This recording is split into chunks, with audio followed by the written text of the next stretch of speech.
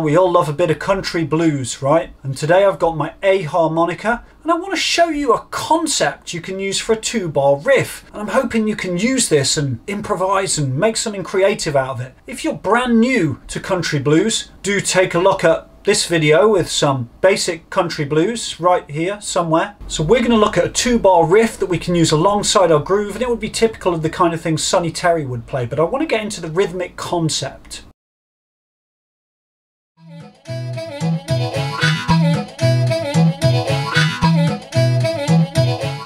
Find the pulse, count into four, which is here.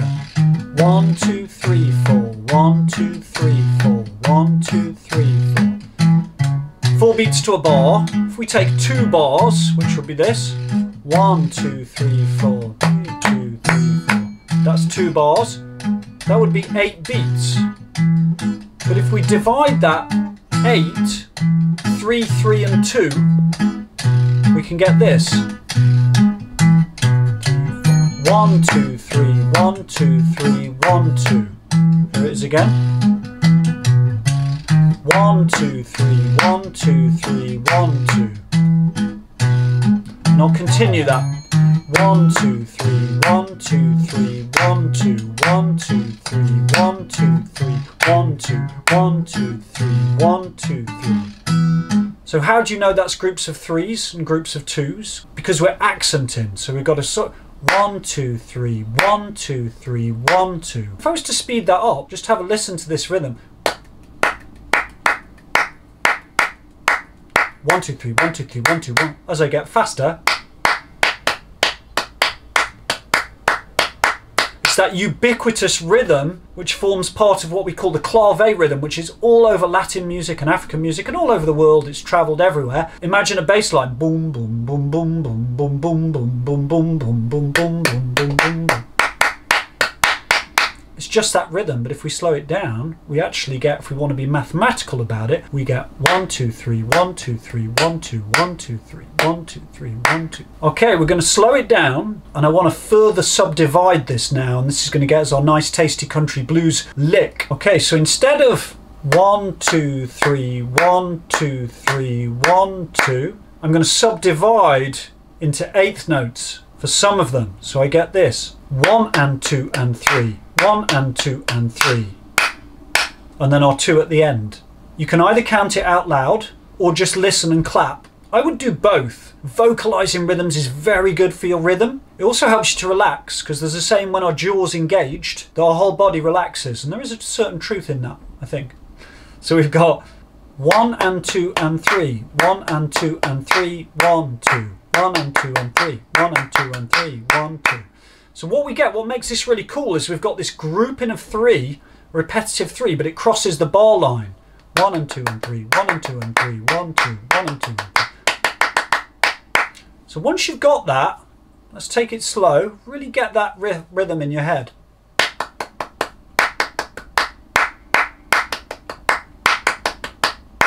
And here's our lick.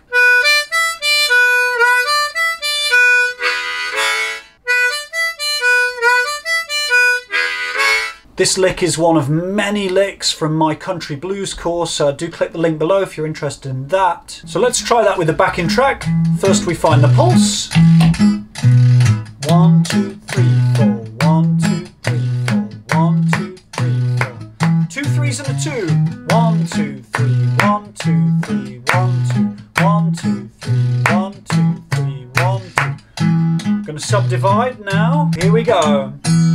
One and two and three, one and two and three, one, two, one and two and three, one and two and three, one, two. Let's try that with the old harpsichord. Here we go. Oh yeah.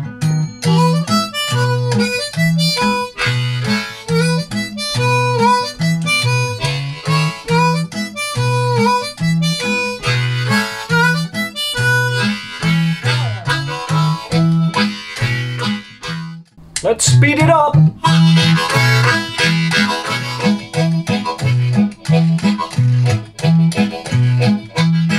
Yeah.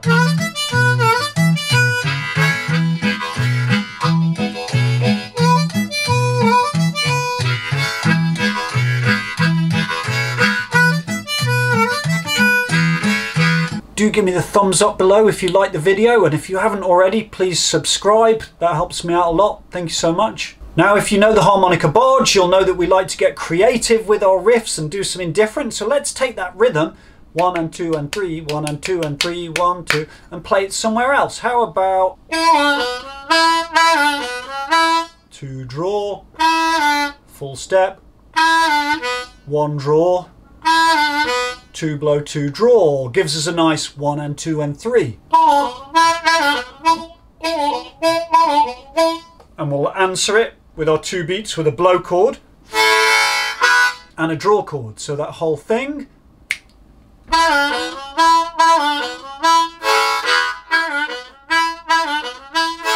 And why not try it full speed?